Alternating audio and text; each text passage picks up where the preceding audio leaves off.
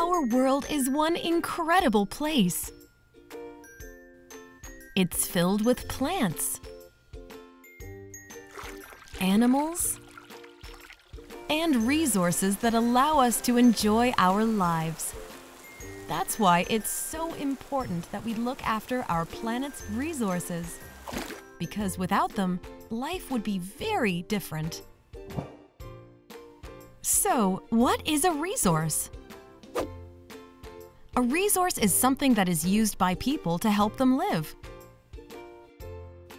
They can be natural or man-made.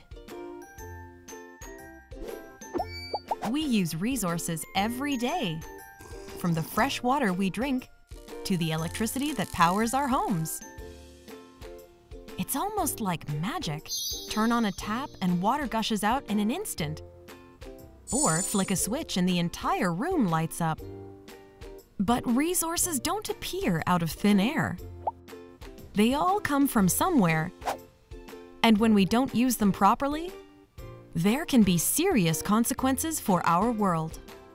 What can we do to make sure we're using our resources thoughtfully? Introducing the four R's.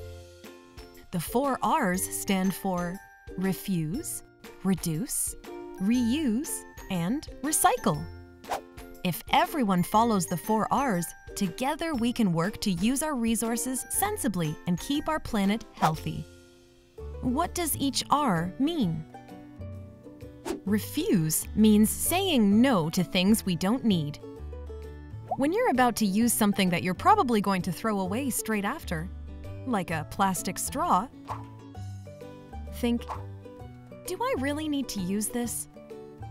If the answer is no, then say no thanks. Instead, you could drink your smoothie with a reusable straw, or even better, no straw at all. Reduce means to use less. Sometimes it's hard to stop using resources completely, but you can always try to reduce the amount we use. You can save materials by buying fewer new toys. Before you get something new, have a look at what you already have. You might find you've got exactly what you need. Reuse means to use resources in a new way once we have finished using them for their original purpose. This is an opportunity to get creative. Instead of throwing an item out, think of another way you could use it. You could use empty jars as food containers, pencil holders, or flower pots.